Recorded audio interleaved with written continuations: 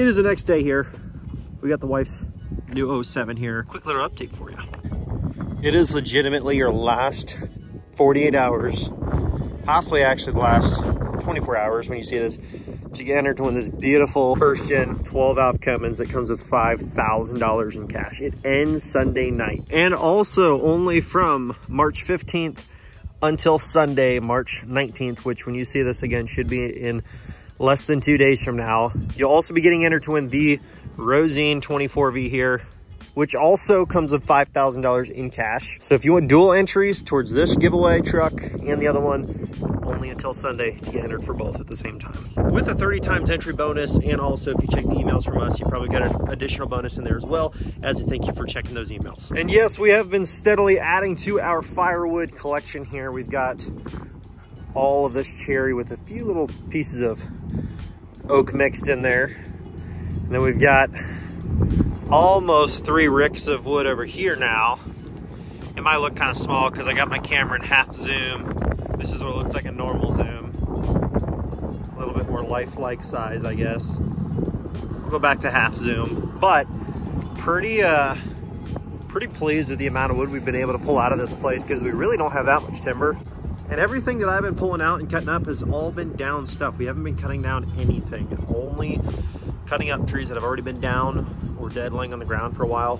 Most of this has actually come from like crowns of trees um, from, I don't know if it's from old logging four or five years ago or what, but we've luckily not had to cut anything down. This is all from already, already down timber, just making use of it. And um, I just, I just like doing it. We don't even really need that much firewood, but it's just so much fun. And I am still super pleased with this. I still have not had any issues with it at all. Every single piece of wood I've thrown on there to split, it has just blown right through it. Couldn't be happier. And the small fleet of work machines has still been serving me well. I did actually find a buyer for this mower, which is super cool. I was honestly so torn on keeping it because I'm like, man, a 60 inch mower, that would be super nice. But then again, my, my only dilemma was I'm not even the one that does most of the mowing around here. I'm gonna be hiring actually, you know, my cousin Ty, who has been working for us now for almost a full year. His brother's actually gonna be starting to work for us this spring, and he's 13 years old, and I told him he could have a mowing and trimming job here once a week, come do all of our mowing and trimming. And honestly, if I have to choose between a 13 year old kid running a 54 inch mower that is worth like two or 3,000 bucks or a 60 inch diesel mower that's worth six to eight thousand dollars. I'd rather him just run this one.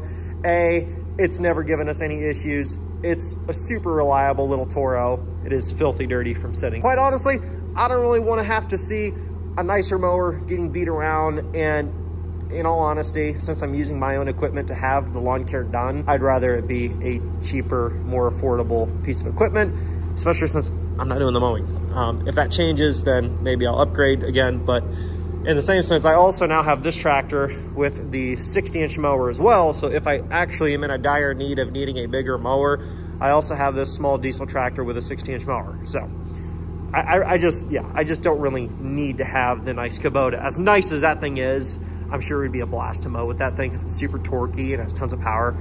Between this and that, we should be good. And now in terms of the wife's truck, we did discuss some things last night in terms of a direction to go with this. And although it's not completely finalized, um, she's wanting this thing to stay, for the most part, pretty, pretty simple overall. Like, I think she's going to plan on sticking with the fourth gen Laramie stocks for a little while and just rolling like a nice 33 by 1250 or 35 by 1250 on this wheel setup.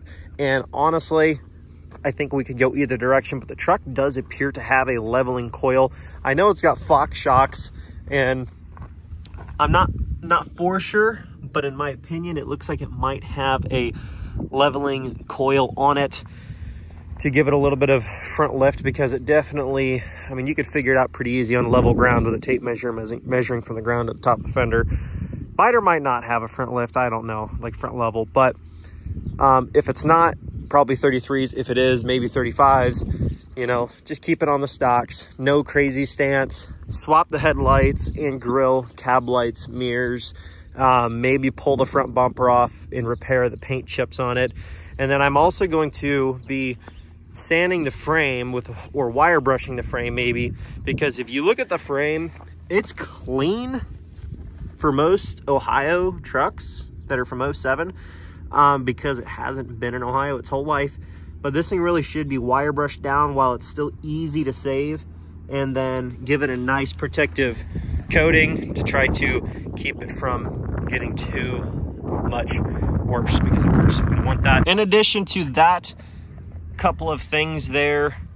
I would not mind trying to repair this. I'm gonna see if I can do it DIY at home. And if that does not work, then of course, take it to get professional help. But what I'm thinking is if I take my grinding wheel with my bigger wheel, I think I can open this passenger door up to get it away from the work area, mask this all off around, and then just slowly grind off the rust and then, you know, a little bit of filler, mask it off, of course, paint, clear, you know, prime, paint, clear. I think for the most part, I could fix this to look pretty dang unrecognizable, but we will see. Out here with the old Rosine 24V, getting some photos here. I'm actually on a pretty freaking steep bank right now. It don't look that steep, but it's, uh, but it's pretty steep. I'm like, I'm aiming like up towards the sky. It's a railroad bed here It's pretty steep downhill behind me. Facing straight uphill. He's trying to snag some photos and videos here in the old Rosine. I'm gonna miss this truck. Definitely gonna. I'm gonna miss. I'm gonna miss the memories of it. And what people have to understand is the memories go with you. If you have something you're wanting to do that may require you to let go of something that you used to hold so dearly to you. Like Reagan, like she used to obsess over this truck and it just kind of seems like in the last two years, you know, it's just kind of become more and more in the back burner. And it's simply because of the fact that she can't use it for the types of things that she's wanting to use it for now with the kids and the way that the truck is built and stuff like that. And the practicality of it's just kind of, just not really there anymore. She still loves the truck. She's to miss the truck for sure. But, you know, the memories that she loves the truck for she's to keep with her. That's not going to change. And we're just going to create new memories with the new truck and hopefully she can get all the use out of it that she needs at the same time. Well, I'm about to pick up some lunch here, but I did buy some stuff for Reagan's new truck. I got some stuff for sanding and repainting the frame to give it that nice flat black new look. The objective is to maintain that look like we did with Rosine by keeping the truck clean. And also, I got some stuff to attempt to fix the rust on the rear passenger door as well. So I got a little bit of Bondo. I got a good, like, uh, it's like a paint and rust sanding wheel for my angle grinder. I got some paint. I got some primer. I got, I got some prepping stuff, some sanding stuff. So, you know, we'll see how it goes. I've never had to repair anything before in terms of rust. But I thought, let's give it a shot. This could be helpful for some of you guys out there to see if I do this and it turns out good. But the way that I looked at it, that was a hoarder. Holy smokes. But anyways, what I was gonna say was it's it's a spot on the truck where like, even if it doesn't turn out perfect, it's not really going to change anything in terms, in a negative way on the truck. Like it's still gonna look better than it is because of the location of it. A good spot to try it out on. We got the wife's new truck here. We're gonna give it a start up here. And we're going to go into the topic of repairing some rust on this truck.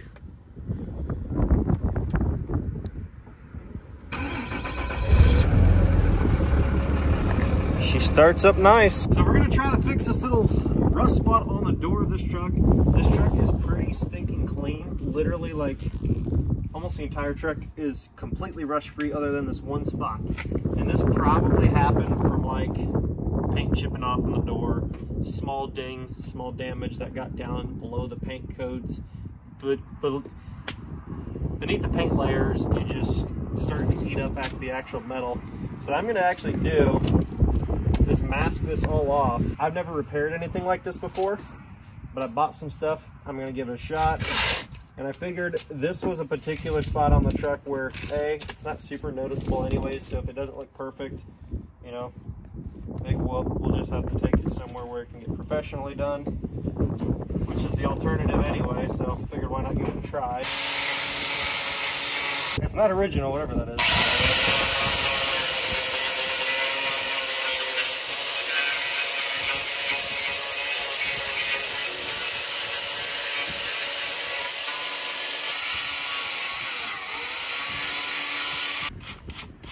So we got the Bondo and the hardener mix stuff going on here.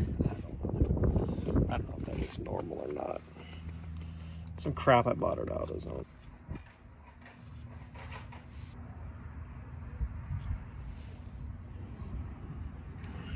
Here's the current progress. You can look down the body line there, or the, the door.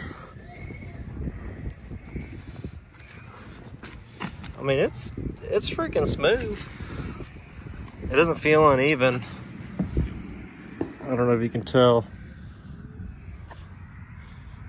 You can see where the Bondo is recessed a little bit further down than the original paint and this little spot there that no further. This stuff's supposed to like add layers too though that you can then sand down a little bit further. So I don't know. We'll see after we do three or four coats. Well, I hate to say I ruined her truck on the first 24 hours of owning it, but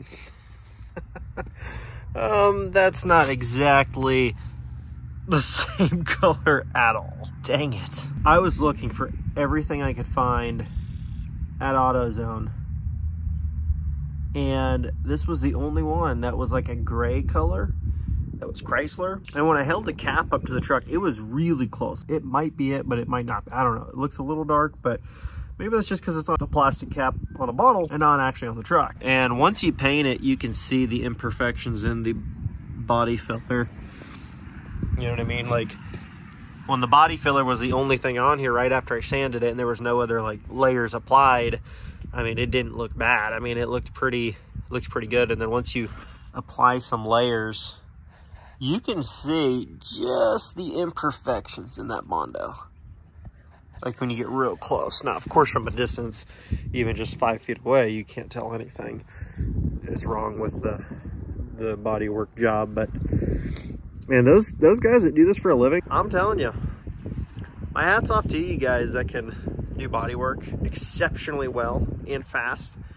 Because I'll tell you what, my first attempt at it not go so well. And as mentioned before, this truck is probably going to have the front bumper repainted because of all the paint chips on it. And that spot was going to get fixed anyways. And I thought I'll just give it my best shot at attempting to do it to see if maybe I can relieve her of that little eyesore on the truck for now. I honestly don't know if it looks any better or any worse. You don't have a big rust hole anymore because I ground out all the rust and then filled it and then painted it. But in the same sense, now you got a little patch that's a completely different color. Slightly disappointing. I ruined her truck literally on the first day of her owning it.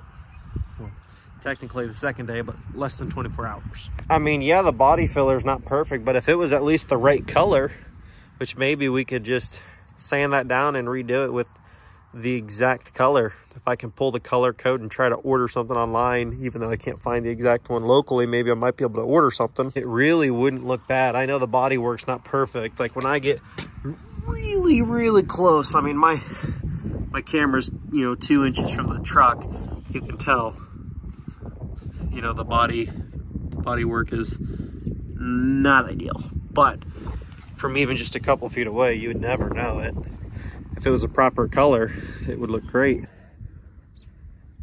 It's pretty stinking smooth. Just a few small imperfections in the center of it.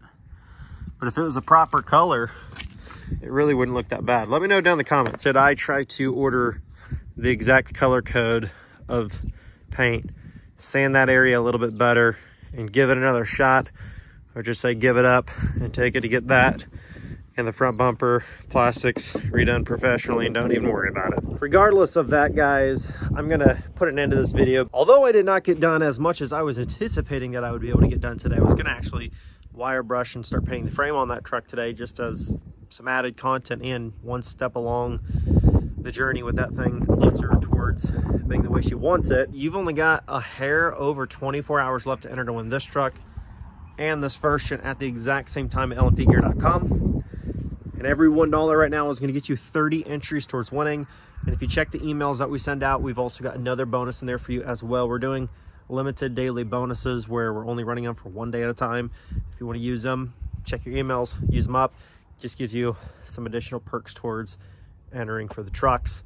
And yes, when you place an order and you get 30x entries, let's say your order says you get 3,000 or 4,000 entries, it's not split between the two trucks. You actually get that many entries towards each one. So pretty cool. It's two drawings, two winners. You could either get drawn twice and end up winning both, or two separate people could win. So anyways, guys, thanks so much for all the love and all the support. Don't forget the giveaway is ending on Sunday for these two to be entered at the same time. I'll catch you in the next video. Peace.